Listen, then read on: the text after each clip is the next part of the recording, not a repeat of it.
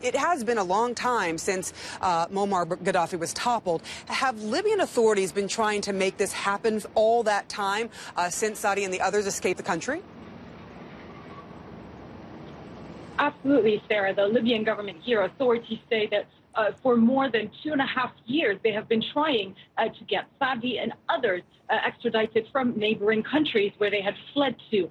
Uh, the Libyan Prime Minister Ali Zaidan today saying that uh, this happened. Niger handed him over after uh, more than a year, since February of last year, of intense negotiations uh, between the two countries. If you remember back in uh, the end of 2011, uh, Niger said they were allowing him to stay in the country uh, for humanitarian grounds, but he was there under house arrest and really tight restrictions on his stay there in Niger. Now, a short while ago, the Libyan government released a statement saying that the handover happened after Libyan officials provided what they say is uh, uh, proof beyond doubt of his involvement in what they say was a terrorist plot targeting civilians in Libya and aimed at striking the country's national unity and destabilizing uh, the country. They say they've provided evidence to authorities in Niger that Saadi Gaddafi uh, allegedly financed and recruited individuals who were involved uh, in the bloody clashes back in January in Libya South. Those were really bloody clashes, scores of uh, casualties as a result of the fighting there in the South. Uh, the government and many Libyans really have accused former regime members like Saadi and others in neighboring countries of plotting and orchestrating some of the unrest that we've seen here in Libya. So a lot of people are relieved and happy to hear this news.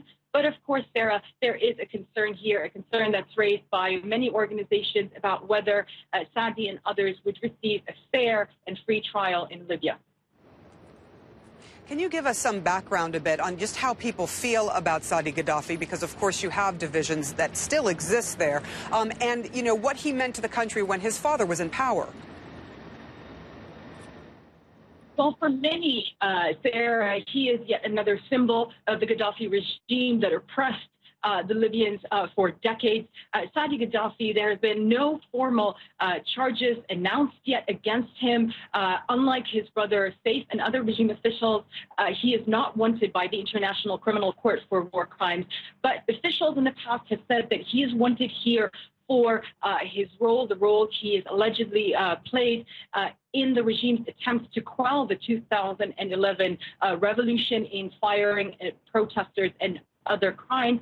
Also, Sarah, for many Libyans, he abused power, they say, uh, for his involvement in sport. He had a short lived uh, career as, an, as a professional footballer He was the head of Libya's football uh, federation. And there are crimes here that Libyans talk about today uh, about him being accused of uh, killing a Libyan football player and uh, ordering troops to open fire in the 1990s on fans during a football match.